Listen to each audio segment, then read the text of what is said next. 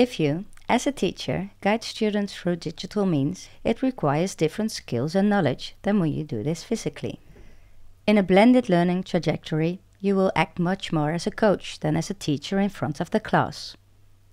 This role, in combination with digital resources you can use, requires a different view on how you, as a tutor, facilitate the learning process.